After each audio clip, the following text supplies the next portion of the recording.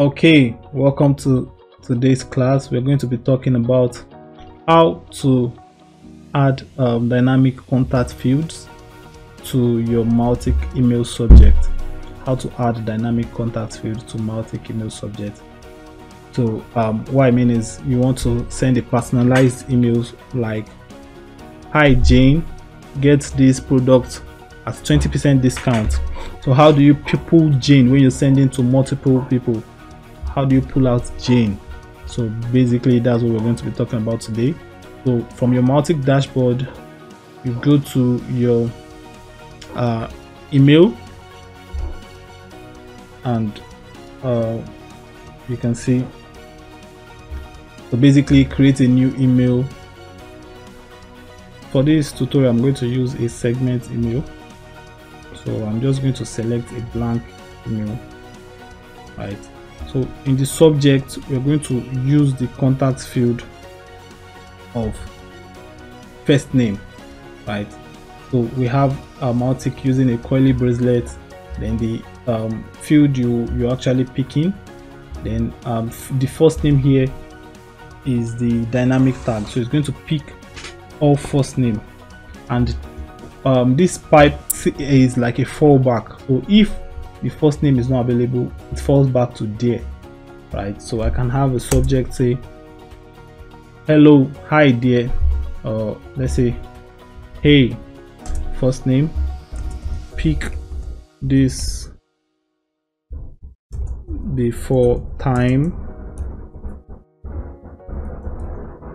Runs out and your internal name like if you already know is just how you want to recognize your email from your from your dashboard. So you can say um, sales promo. Now because this is a segment email you need to choose a segment. So i'm just going to choose my first segment.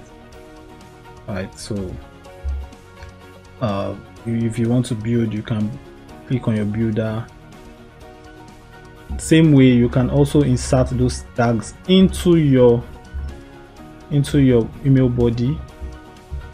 Your email body. Right so when you've done that you can just close and save save and close.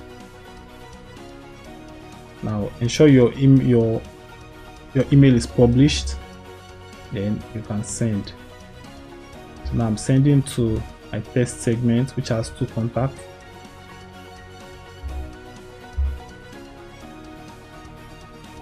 That's done.